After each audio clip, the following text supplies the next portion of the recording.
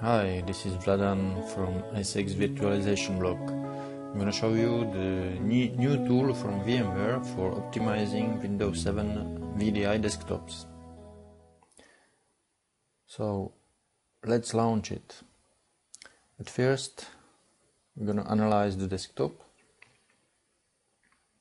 You can see the analysis, the details.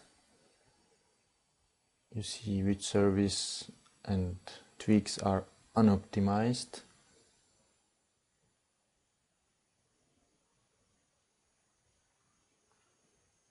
You can use the predefinite templates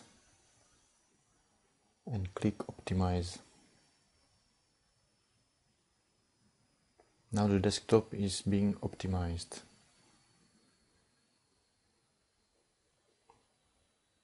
This is just a very short video, so um, stay tuned for more.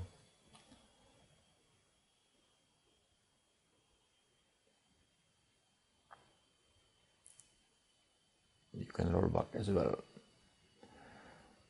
Thanks for watching.